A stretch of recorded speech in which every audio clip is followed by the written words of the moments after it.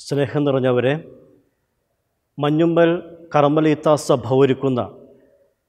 Carmel ദർശനിലെ വചന ഞായറിലേക്ക് ഏവർക്കും സ്വാഗതം. ഇന്ന് ആണ്ടുവട്ടത്തിലെ പതിനാലാം ഞായർ. തിരുസഭ വിശുദ്ധ കുർബാനയ്ക്കായി നമുക്ക് നൽകിയിരിക്കുന്ന വായനകൾ. സഗറിയാസ് പ്രവാചകന്റെ പുസ്തകം ഒമ്പതാം അധ്യായം ഒമ്പതും പത്തും വാക്യങ്ങളും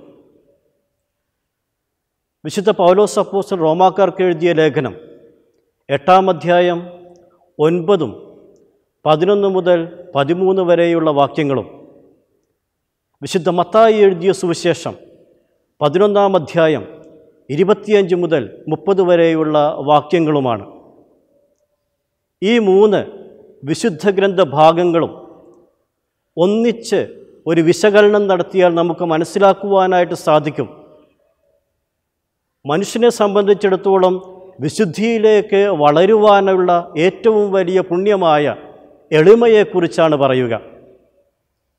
ഇന്നത്തെ സുവിശേഷ ഭാഗത്തിൽ യേശുനാഥൻ തന്നിൽ നിന്ന് തന്നെ എളിമ പ്രാവർത്തികമാക്കുവാൻ പറയുമ്പോൾ അവിടുന്ന് എളിമയുടെ മറ്റൊരു രൂപത്തെക്കുറിച്ച് പറയുന്നുണ്ട്.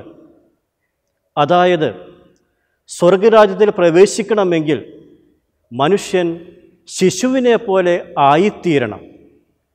ശിശുത്വവും എളിമയും ഒന്നിച്ചു പോകുന്ന പുണ്യങ്ങളാണ്. എന്നും വൈകിട്ട് അപ്പനോടൊപ്പം യാത്ര ചെയ്യുന്ന കുഞ്ഞുങ്ങളെപ്പോലെ ആദവും ഹവയും ദൈവത്തോടൊപ്പം സവാരിക്കിറങ്ങുമായിരുന്നു. എല്ലാ പാപങ്ങളുടെയും അമ്മയായ അഹംഭാവത്തിന്റെ ഉപജ്ഞാതാവായ പിശാജ് ആദ്യ മാതാപിതാക്കളുടെ ഹൃദയത്തിലേക്ക് അഹംഭാവത്തിന്റെ ആദ്യ കിരണങ്ങൾ നൽകിക്കൊടുക്കുന്നു. അവർ ദൈവത്തെ പോലെ ആയിത്തീരുവാനായിട്ട് ആഗ്രഹിക്കുന്നു. അതായിരുന്നു അവരുടെ ജീവിതത്തിലെ അധപ്പതനം പാപങ്ങളുടെ ആരംഭം. ബാബേൽ ഗോപുരത്തിന്റെ കഥ നമുക്ക് എല്ലാവർക്കും അറിയാം. അവർ ഗോപുരം പണിതത് എന്തിനു വേണ്ടിയിട്ടാണ്? ആകാശത്തോളം എത്തപ്പെടുന്ന ഒരു ഗോപുരം. കാരണം ആകാശവിധാനങ്ങളിലാണ് ദൈവത്തിന്റെ സ്ഥാനമുറപ്പിച്ചിരിക്കുക ആകാശത്തോളം എത്തപ്പെടുമ്പോൾ ദൈവത്തിന്റെ സിംഹാസനത്തെ ഞങ്ങൾക്ക് എത്തിപ്പിടിക്കുവാൻ സാധിക്കും എന്ന് അവരുടെ അഹംഭാവം അവരോട് പറഞ്ഞു. ദൈവം അവരെ ശിക്ഷിച്ചു. കൂടാരവും കൊട്ടാരവും അതുപോലെ തന്നെ ജനതയുമെല്ലാം അവിടെ വെച്ച് നിലം പരിശായി. ക്രിസ്തുവിന് മുന്നൂറ് വർഷങ്ങൾക്ക് മുൻപ് ജീവിച്ചിരുന്ന ചൈനീസ് തത്വചിന്തകനായ മെനേസ്യൂസിനോട് അദ്ദേഹത്തിന്റെ ശിഷ്യന്മാർ ചോദിച്ചു ഈ ലോകത്തിലെ ഏറ്റവും മഹാനായ വ്യക്തി ആരാണ്? അദ്ദേഹം നൽകിയ മറുപടി ഇതായിരുന്നു ശിശുസഹജമായ നിഷ്കളങ്കത കൈവെടിയാത്തവൻ ആരാണോ അവനാണ് മഹാൻ.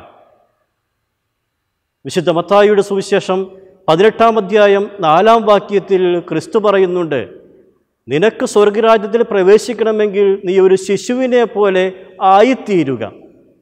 കാരണം ശിശു നിഷ്കളങ്കതയുടെ എളിമയുടെ പ്രതീകമാണ്. ഈ ഒരു വലിയ സത്യം തിരിച്ചറിഞ്ഞവളാണ്. ലിസ്യുവിലെ വിശുദ്ധ കൊച്ചു ത്രേസ്യ. ദൈവത്തോട് അവൾ എന്നും പ്രാർത്ഥിക്കുമായിരുന്നു. ദൈവമേ അങ്ങയുടെ മുന്നിൽ ഒരു ശിശുവായിട്ട് എനിക്ക് ജീവിക്കണമെന്ന്. കാരണം എളിമ ആശ്രയബോധം ഇതെല്ലാം ഉള്ള ഒരു വ്യക്തിത്വമാണ് ശിശുവിന്റേത്. യാക്കോബിന്റെ ലേഖനം നാലാം അധ്യായം പത്താം വാക്യത്തിൽ പറയുന്നു ദൈവത്തിന്റെ മുന്നിൽ താഴ്മയോടെ ആയിരിക്കുക അവിടുന്ന് നിങ്ങളെ ഉയർത്തുമെന്ന്. പുതിയ നിയമത്തെ രണ്ടാം സൃഷ്ടി എന്നാണ് വിശേഷിപ്പിച്ചിരിക്കുന്നത്. രണ്ടാം സൃഷ്ടികർമ്മത്തിലെ രണ്ടാം ആധമായ യേശുവാണ് എളിമയുടെ ഏറ്റവും വലിയ ഉദാഹരണം. കാലിത്തൊഴുത്ത് മുതൽ കുരിശുവരെ മരം വരെയുള്ള അവിടുത്തെ യാത്ര അത് എളിമയുടെ യാത്രയായിരുന്നു. അതുകൊണ്ടാണ് വിശുദ്ധ പൗലോസപ്പോസ്തലൻ ഫിലിപ്പിയക്കാർക്ക് എഴുതിയ ലേഖനത്തിൽ യേശുവിനെക്കുറിച്ച് പറഞ്ഞത് അവൻ തന്നെ തന്നെ താഴ്ത്തി കുരിശു മരണത്തോളം താഴ്ത്തി ആകയാൽ ദൈവം അവിടുത്തെ നാമം ഉയർത്തി എന്ന്. നമ്മുടെ ജീവിതത്തിൽ പ്രാവർത്തികമാക്കേണ്ട ഒരു വലിയ പുണ്യമാണിത്. കാരണം എളിമ എന്നത് ക്രിസ്തു സ്വഭാവമാണ്. എളിമ എന്നത് ക്രിസ്ത്യാനിയുടെ സ്വഭാവമാക്കി മാറ്റേണ്ടതാണ്. ഇന്നത്തെ ഒന്നാം വായനയിൽ സഹറിയാസ് പ്രവാചകൻ വിളിച്ചു പറയുന്നുണ്ട് ജെറൂസലേം പുത്രി നീ സന്തോഷിക്കുക. ആഹ്ലാദ ചാർപ്പ് വിളിക്കുക.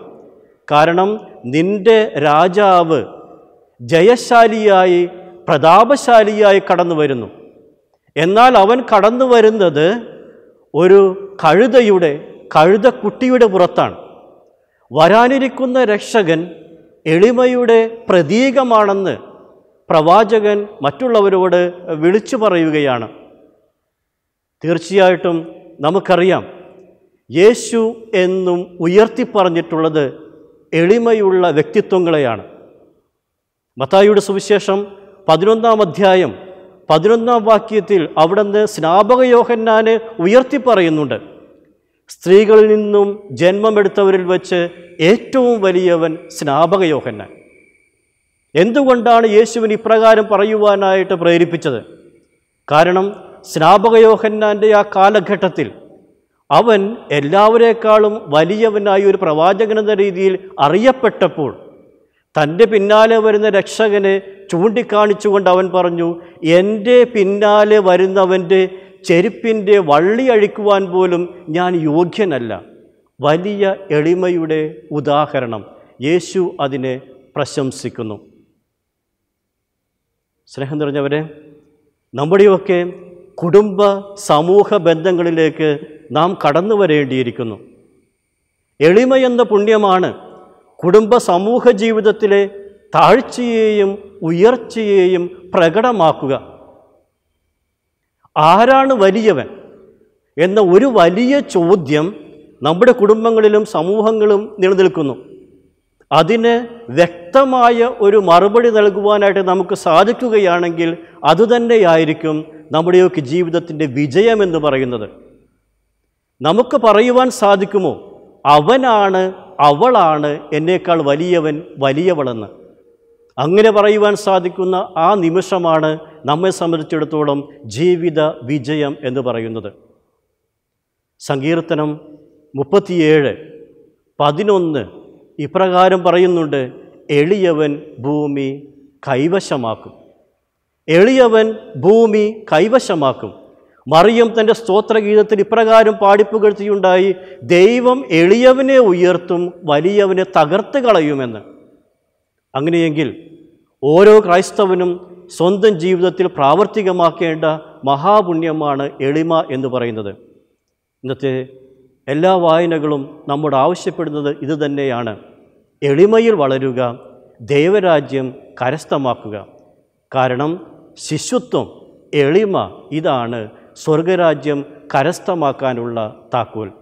അതിനു വേണ്ടിയിട്ട് നമുക്ക് പ്രാർത്ഥിക്കാം അതിനു വേണ്ടിയിട്ട് നമുക്ക് പ്രയത്നിക്കാം. കർത്താവ് നിങ്ങളെല്ലാവരെയും അനുഗ്രഹിക്കട്ടെ.